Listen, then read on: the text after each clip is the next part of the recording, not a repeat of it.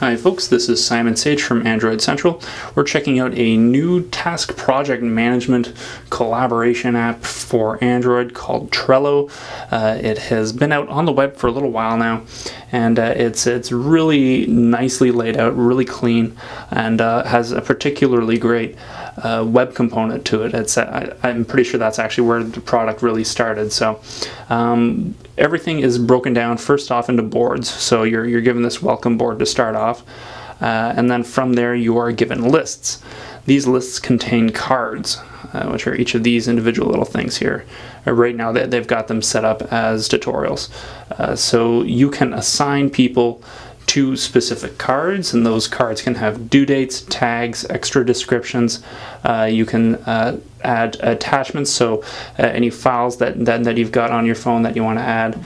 Uh, they can go on there, and any collaborators or anybody who is responsible for particular cards will have access to them. There's a dedicated comment section here too, so anyone who's involved can uh, get talking about uh, what's what needs to be done. Um, there's also a voting system in place, so uh, you, you can set up specific cards for, uh, you know, in terms of figuring out what you guys want to do in terms of such and such. And all, all of these cards can uh, have everything changed around as you will. It's uh, it's you've got color coded tags here, and you can, you can actually tell that, the, there's a lot of information available here just at a glance, right? So we see that this um, this is a card one already has um, uh, one vote and two uploads added to it. And uh, you, you can shuffle these around too if you need to. Uh, put them up and down the list as you will, or move them over to other lists if you like. Um, I, I, I, think this this app shows a lot of promise. The uh, the mobile app is really good too.